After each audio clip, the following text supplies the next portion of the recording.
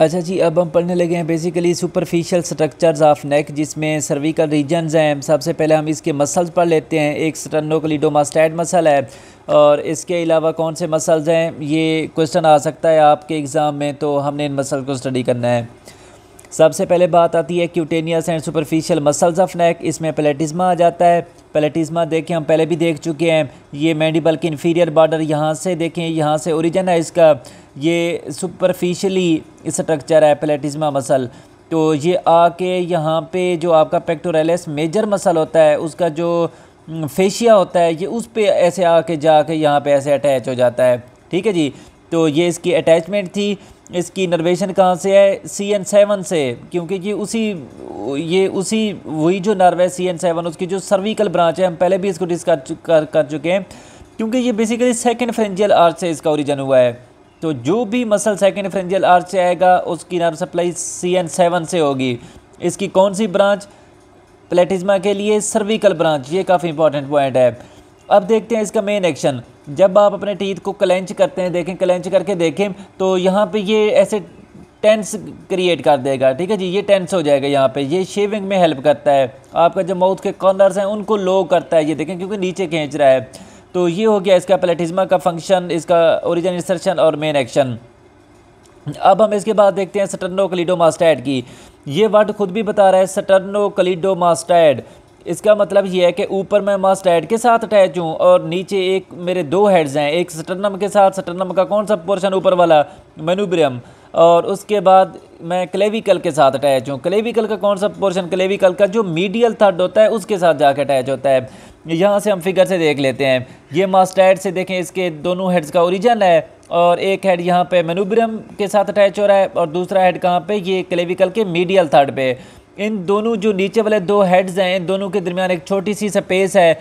इसको हम कहते हैं lesser supra clavicular fossa lesser supra क्योंकि क्लेविकल के ऊपर है है लेकिन थोड़ा सा, इसलिए कहते हैं लेसर सुप्रा क्लेविकुलर फोसा ठीक है जी? तो ये इसकी ओरिजिन और इंसर्शन हो गई। इसकी इनर्वेशन कहाँ से स्टर्नोक्लिडोमास्टाइड मसल की आप फ़र्स्ट ईयर में भी रीड कर चुके हैं, जो स्पाइनल एसेसरी नर्व है, जिसे सी एन इलेवन कहते हैं, वहाँ से इसकी नर्वेशन है। जो सी टू और सी थ्री नर्व्स हैं, वहाँ से ये पेन और जो पोजीशन के लिए मतलब वो होते हैं सेंसरी नर्व फाइबर्स तो वो यहाँ से रिसीव हो रहे हैं।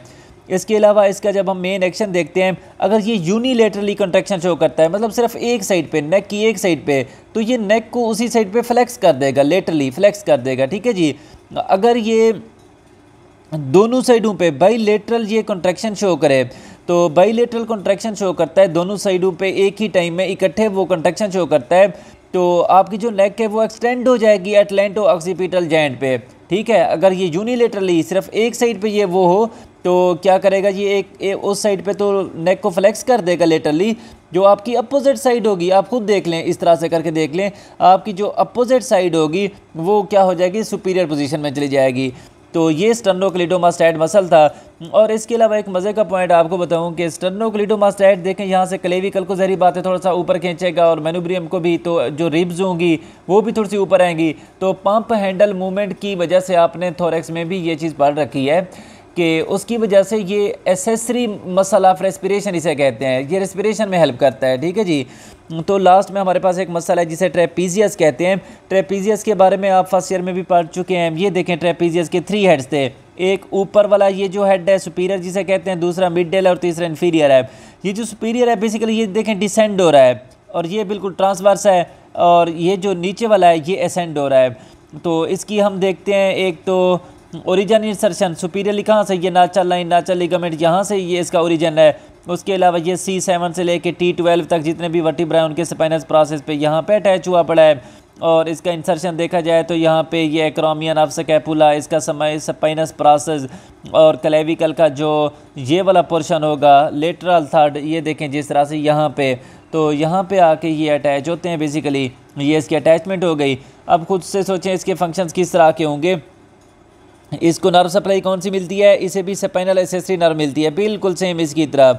और ये पोजीशन और पेन के लिए कौन से होते हैं? C two and C three अच्छा इसकी अब देखते हैं मेन एक्शन देखते हैं। जो डिसेंडिंग पार्ट है, जरी बात है, ये ऊपर है तो इसने स्कैपुला को क्या करना है? एलिवेट करना है।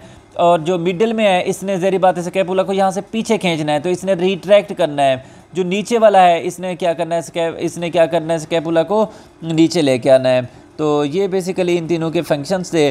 अगर ये बाई लेटरली कॉन्ट्रैक्शन शो करते हैं दोनों तो ये क्या करेंगे फिर? ये एक्सटेंड कर देंगे नेक को। अगर एक साइड पे सिर्फ़ ये वो हों तो ये उसको लेटरली फ्लेक्स कर देंगे, बिल्कुल उसकी तरह स्टर्नोक्लिडोमास्टाइड की तरफ़ तो ये मसल्स इनके ओरिजिन इंसर्शन फ़ंक्शन इनर्वेशन इनके इंपॉर्टेंट थे, ये आपने देख लेने हैं।